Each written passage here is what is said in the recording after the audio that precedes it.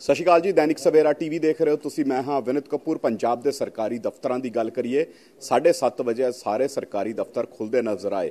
ਮੰਤਰੀਆਂ ਦੀ ਗੱਲ ਕਰੀਏ, ਮੁੱਖ ਮੰਤਰੀ ਦੀ ਗੱਲ ਕਰੀਏ ਜਾਂ ਫਿਰ ਅਧਿਕਾਰੀਆਂ ਦੀ ਗੱਲ ਕਰੀਏ ਜਾਂ ਕਰਮਚਾਰੀਆਂ ਦੀ ਗੱਲ ਕਰੀਏ, ਹਰ ਕੋਈ 7:30 ਵਜੇ ਦੇ ਆਸ-ਪਾਸ ਆਪਣੇ ਦਫ਼ਤਰ ਪਹੁੰਚਦੇ ਹੋਏ ਨਜ਼ਰ ਆਏ ਸੀ। ਹਰਭਜਨ ਸਿੰਘ ਈਟੀਓ ਸਾਡੇ ਨਾਲ ਨੇ, ਜਿਹੜੇ ਸਵੇਰ ਤੋਂ ਆਪਣੇ ਦਫ਼ਤਰ ਦੇ ਵਿੱਚ ਮੌਜੂਦ ਨੇ। ਫਾਈਲਾਂ ਲਗਾਤਾਰ ਸਾਈਨ ਹੋ ਰਹੀਆਂ ਨੇ, ਮੀਟਿੰਗਾਂ ਦਾ ਸਿਲਸਿਲਾ ਜਿਹੜਾ, ਉਹ ਲਗਾਤਾਰ ਜਾਰੀ ਹੈ। ਸਰ, ਸਵੇਰੇ 7:30 ਵਜੇ ਤੁਸੀਂ ਦਫ਼ਤਰ ਪਹੁੰਚ ਗਏ। ਤਕਰੀਬਨ 7:30 ਵਜੇ ਦੇ ਆਸ-ਪਾਸ ਹੀ ਤੁਹਾਡੀ ਗੱਡੀ ਜਿਹੜੀ ਹੈ, ਸੈਕਟਰੀਏਟ ਪਹੁੰਚੀ ਸੀ। ਕਿਸ ਤਰ੍ਹਾਂ ਦੇਖਦੇ ਹੋ, ਸਰ? ਕਿੰਨਾ ਕੁ ਵੱਡਾ ਚੈਲੰਜ ਸੀ ਅੱਜ 7:30 ਵਜੇ ਦਫ਼ਤਰ ਪਹੁੰਚਣਾ? ਨਹੀਂ, ਕੋਈ ਚੈਲੰਜ ਨਹੀਂ ਹੈ। ਸਾਡੇ ਪੰਜਾਬ ਤੇ ਵੈਸੇ ਹੀ ਸਵੇਰੇ ਜਾਗਿਆ ਹੁੰਦਾ ਸਾਰਾ।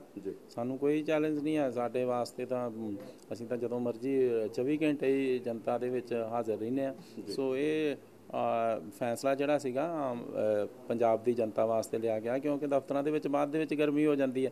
ਗਰਮੀ ਦੇ ਵਿੱਚ ਲੋਕ ਜਾਂਦੇ ਨੇ ਉਹਨਾਂ ਨੂੰ ਮੁਸ਼ਕਲਾਂ ਦਾ ਸਾਹਮਣਾ ਕਰਨਾ ਪੈਂਦਾ। ਸੋ ਅਸੀਂ ਕਿਹਾ ਇਹ ਕੰਮ ਜਿਹੜਾ ਅਰਲੀ ਮਾਰਨਿੰਗ ਜਿਹੜਾ ਉਹ ਕਰ ਲਿਆ ਜਾਵੇ। ਤਾਂ ਕਿ ਲੋਕ ਬਾਅਦ ਦੇ ਵਿੱਚ ਆਰਾਮ ਤਲਬੀ ਨਾਲ ਆਪਣੇ ਘਰ ਦੇ ਵਿੱਚ ਬੈਠ ਸਕਣ। ਲੇਕਿਨ ਵਿਰੋਧੀ ਕਹਿੰਦੇ ਕਿ ਬਿਜਲੀ ਸੰਕਟ ਤੋਂ ਧਿਆਨ ਡਾਈਵਰਟ ਕਰਨ ਦੀ ਦੇ ਚਲਦੇ ਇਸ ਤਰ੍ਹਾਂ ਦਾ ਫੈਸਲਾ ਸਰਕਾਰ ਲੈਂਦੀ ਨਜ਼ਰ ਆ ਰਹੀ ਹੈ। ਵਿਰੋਧੀਆਂ ਕੋਲ ਕੋਈ ਗੱਲ ਤਾਂ ਹੈ ਨਹੀਂ ਕਰਨ ਵਾਸਤੇ। ਜੇ ਗਰਮੀ ਤੋਂ ਬਚਾਉਣ ਵਾਸਤੇ ਲੋਕਾਂ ਨੂੰ ਬਚਾਉਣ ਵਾਸਤੇ ਇੱਕ ਫੈਸਲਾ ਲੈ ਲਿਆ ਸਵੇਰੇ 7:30 ਵਜੇ ਆਉਣ ਦਾ ਤੇ ਇਹਦੇ ਚ ਪ੍ਰੋਬਲਮ ਕੀ ਆ? ਐਕਚੁਅਲੀ ਉਹਨਾਂ ਦੀ ਪ੍ਰੋਬਲਮ ਇਹ ਆ ਉਹ ਸਵੇਰੇ ਉੱਠ ਨਹੀਂ ਸਕਦੇ। ਸਵੇਰੇ ਉੱਠ ਨਹੀਂ ਸਕਦੇ ਜਾ ਨਹੀਂ ਸਕਦੇ, ਉਹ ਆਦਤਾਂ ਪਈਆਂ ਨੇ, ਉਹਨਾਂ ਨੂੰ 10 10 11 11 ਵਜੇ ਉੱਠਣ ਦੀਆਂ। ਠੀਕ ਆ? ਸੋ ਪੰਜਾਬ ਨੂੰ, ਜੇ ਅਸਲੀ ਪੰਜਾਬ ਨੂੰ ਵੇਖੀਏ, ਅਸਲੀ ਪੰਜਾਬ ਸਵੇਰੇ ਸਵਖਤੇ ਜਾਗਿਆ ਹੁੰਦਾ। ਸਾਡੇ ਸਵੇਰੇ ਤੁਸੀਂ ਦੇਖੋ 4 ਵਜੇ ਗੁਰਦੁਆਰਿਆਂ ਦੇ ਵਿੱਚ, ਮੰਦਰਾਂ ਦੇ ਵਿੱਚ ਜਿਹੜੇ ਨੇ, ਉਹ ਕਥਾ ਗੁਰਬਾਣੀ ਸਾਰੀ ਜਿਹੜੀ ਆ ਉਹ ਸ਼ੁਰੂ ਹੋ ਜਾਂਦੀ ਹੈ। ਸਪੈਸ਼ਲੀ ਤੁਹਾਡੇ ਚੈਨਲ ਨੇ ਵੀ ਨਾਂ ਸਵੇਰਾ ਰੱਖਿਆ ਦੈਨਿਕ ਸਵੇਰਾ। ਸਵੇਰ ਦਾ ਕੋਈ ਇੰਪੋਰਟੈਂਸ ਹੁੰਦੀ ਹੈ ਨਾ ਸਵੇਰ ਦੀ? ਸਵੇਰ ਦੀ ਇੰਪੋਰਟੈਂਸ ਹੁੰਦੀ ਹੈ। ਸਵੇਰੇ ਕਪੈਸਿਟੀ ਬੜੀ ਹੁੰਦੀ ਆ ਕੰਮ ਕਰਨ ਦੀ। ਮੈਂ ਦੇਖੋ ਮੈਂ ਤੁਹਾਨੂੰ ਦੱਸਦਾ ਮੈਂ ਸਵੇਰ ਦਾ 7:30 ਵਜੇ ਦੀਆਂ ਕਿੰਨੀਆਂ ਫਾਈਲਸ ਸਾਰੀਆਂ ਧਿਆਨ ਨਾਲ ਦੇਖੀਆਂ ਨੇ ਪੂਰਾ ਮਾਈਂਡ ਤੁਹਾਡਾ ਫਰੈਸ਼ ਆ। ਤੁਸੀਂ ਮਤਲਬ ਵਧੀਆ ਤਰੀਕੇ ਨਾਲ ਕੰਮ ਕਰੋਗੇ। ਇਸ ਤਰ੍ਹਾਂ ਹੀ ਸਾਰੇ ਅਧਿਕਾਰੀ ਕਰਮਚਾਰੀ ਜਿਹੜੇ ਕਰਨਗੇ ਲੋਕ ਵੀ ਜਿਹੜੇ ਨੇ ਉਸ ਵਕਤੇ ਜਾ ਕੇ ਆਪਦੇ ਕੰਮਕਾਰ ਜਿਹੜੇ ਆ ਉਹ ਕਰਾ ਸਕਣਗੇ।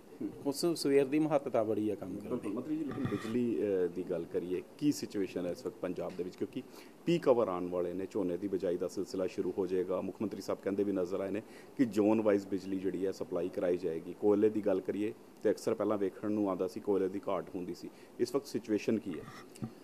ਆ ਬਿਜਲੀ ਸਪਲਾਈ ਨੂੰ ਲੈ ਕੇ ਸਾਡੇ ਪੰਜਾਬ ਦੇ ਵਿੱਚ ਕੋਈ ਵੀ ਪ੍ਰੋਬਲਮ ਨਹੀਂ ਹੈ। ਜੀ। ਅਸੀਂ ਪਿਛਲੇ ਸਾਲ ਵੀ ਬਿਜਲੀ ਨਿਰਵਗਨ ਦਿੱਤੀ ਸੀਗੀ।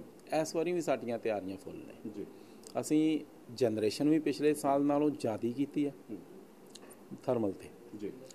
ਅਸੀਂ ਜਿਹੜੇ ਹੈਗੇ ਆ ਕੋਲੇ ਨਾਲ ਸੰਬੰਧਿਤ ਅਸੀਂ ਕੋਲੇ ਦੇ ਭੰਡਾਰ ਵੀ ਬਹੁਤ ਕੀਤੇ। ਜੀ। ਪਿਛਲੇ ਸਾਲ 2 ਦਿਨ ਦਾ ਕੋਲਾ 1 ਦਿਨ ਦਾ ਕੋਲਾ ਖਬਰ ਰੋਜ਼ ਤੁਹਾਡੇ ਚੈਨਲ ਮਿੰਟ ਮਿੰਟ ਤੇ ਕਰਦੇ ਸੀਗੇ ਬਸ ਹੁਣ ਬਲੈਕ ਆਊਟ ਹੋਣ ਵਾਲਾ ਹੁਣ ਇਹ ਆ। ਸੋ ਅਸੀਂ ਵੀ ਚਿੰਤਤ ਸੀਗੇ ਪਰ ਇਸ ਵੇਲੇ ਸਾਡੇ ਕੋਲ ਅਸੀਂ 1 ਸਾਲ ਦੀ ਮਿਹਨਤ ਦੇ ਨਾਲ ਅਸੀਂ ਝਾੜਖੰਡ ਦੇ ਵਿੱਚ ਆਪਣੀ ਕੋਲ ਮਾਈਨ ਸ਼ੁਰੂ ਕਰਕੇ ਅਸੀਂ ਉਥੋਂ ਬਕਾਇਦਾ ਤੌਰ ਤੇ ਕੋਲਾ ਜਿਹੜਾ ਮੰਗਾਉਣਾ ਸ਼ੁਰੂ ਕਰ ਦਿੱਤਾ। ਜੀ।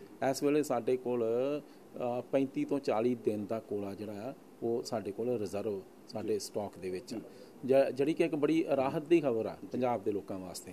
ਸੋ ਇਹ ਸੰਭਵ ਕਿਵੇਂ ਹੋਇਆ? ਸੰਭਵ ਇਸੇ ਕਰਕੇ ਹੋਇਆ ਕਿ ਉਹ ਜਿਹੜੀ ਅ, 2015 ਤੋਂ ਬੰਦ ਪਈ ਕੋਲ ਮਾਈਨ ਸੀਗੀ ਨਾ ਅ, ਪਛਵਾੜਾ ਉਹ ਨਹੀਂ ਚੱਲ ਰਹੀ ਸੀਗੀ। ਉੱਤੇ ਕੋਈ ਧਿਆਨ ਨਹੀਂ ਦਿੱਤਾ ਜਾ ਰਿਹਾ। ਪਰ ਅਸੀਂ ਆਉਂਦਿਆਂ ਹੀ ਜਿਹੜਾ ਉਹਦੇ ਤੇ ਕੰਮ ਕਰਕੇ ਉਹਨੂੰ ਚਾਲੂ ਕਰ ਲਿਆ। ਇਸ ਤੋਂ ਇਲਾਵਾ ਬਿਜਲੀ ਵਾਸਤੇ ਅਸੀਂ ਹੋਰ ਵੀ ਸ਼ਾਹਪੁਰ ਕੰਡੀ ਇੱਕ 206 ਮੈਗਾਵਾਟ ਦਾ ਪ੍ਰੋਜੈਕਟ ਹੋਰ ਲਾ ਰਹੇ ਹਾਂ ਆਉਣ ਵਾਲੇ ਸਮੇਂ ਦੇ ਵਿੱਚ ਚਾਲੂ ਹੋ ਜਾਏਗਾ। ਬਿਜਲੀ ਦੀ ਟਰਾਂਸਮਿਸ਼ਨ ਵਾਸਤੇ ਵੀ ਅਸੀਂ ਕੰਮ ਕੀਤਾ ਹੈ ਪੀਐਸਟੀਸੀਐਲ ਦੇ ਵਿੱਚ। ਉਹਦੇ ਵਿੱਚ 7100 ਮੈਗਾਵਾਟ ਤੋਂ ਅਸੀਂ ਅ, 8500 ਮੈਗਾਵਾਟ ਉਹਦੀ ਕੀਤੀ ਹੈ ਔਰ ਆਉਣ ਵਾਲੇ ਸਮੇਂ ਦੇ ਵਿੱਚ ਅਸੀਂ ਇਹਨੂੰ ਅ, ਅ, 10000 ਮੈਗਾਵਾਟ ਤੱਕ ਲਿਜਾਣ ਦੀ ਜਿਹੜੀ ਅਸੀਂ ਐਕਸਪੈਕਟੇਸ਼ਨਸ ਅਸੀਂ ਪ੍ਰਪੋਜ਼ਲ ਜਿਹੜੀ ਆ ਉਹ ਤਿਆਰ ਕੀਤੀ ਆ ਉਹਦੇ ਵਾਸਤੇ ਕੰਮ ਹੋ ਰਿਹਾ। ਸੋ ਬਿਜਲੀ ਨੂੰ ਲੈ ਕੇ ਪੰਜਾਬ ਦੇ ਵਿੱਚ ਕੋਈ ਸੰਕਟ ਨਹੀਂ ਆ। ਬਿਜਲੀ ਪਿਛਲੇ ਸਾਲ ਵੀ ਨਿਰਵਿਘਨ ਗਈ ਸਪਲਾਈ ਹੋਈ ਸੀਗੀ ਇਸ ਵਾਰ ਵੀ। ਲੋਡ ਕਿੰਨਾ ਕੁ ਵਧਣ ਦੀ ਉਮੀਦ ਹੈ? ਲੋਡ ਦੇਖੋ ਪਿਛਲੀ ਵਾਰੀ ਸਾਡੀ ਮੈਕਸਿਮਮ ਡਿਮਾਂਡ 14311 ਮੈਗਾਵਾਟ ਗਈ ਸੀਗੀ 29 ਜੂਨ ਨੂੰ।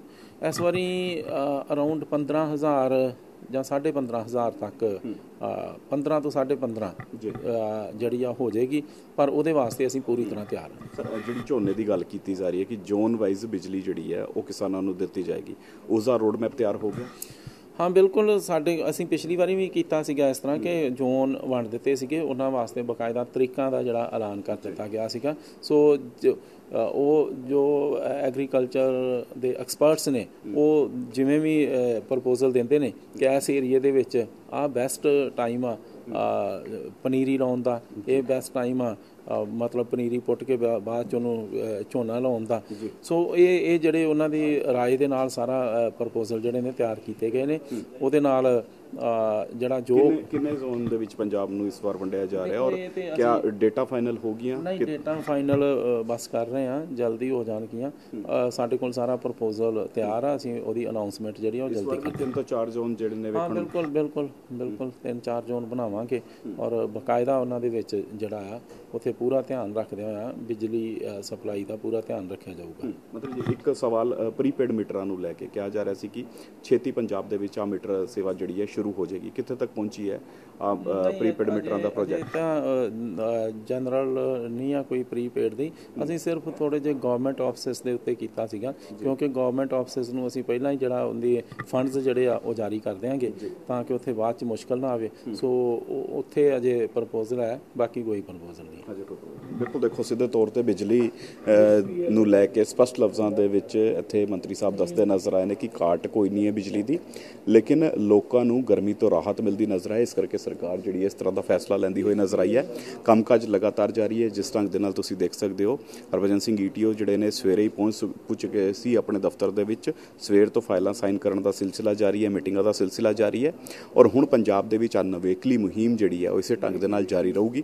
ਵੇਖਣ ਵਾਲੀ ਗੱਲ ਰਹੇਗੀ, ਆਉਣ ਵਾਲੇ ਦਿਨਾਂ ਦੇ ਵਿੱਚ ਇਸ ਦੇ ਕੀ ਨਵੇਂ ਅਸਰ ਵੇਖਣ ਨੂੰ ਮਿਲਦੇ ਨੇ? ਕੈਮਰਾ ਪਰਸਨ ਆਨੰਦ ਦੇ ਨਾਲ ਵਿਨੀਤ ਕਪੂਰ, ਦੈਨਿਕ ਸਵੇਰਾ ਟੀਵੀ, ਚੰਡੀਗੜ੍ਹ।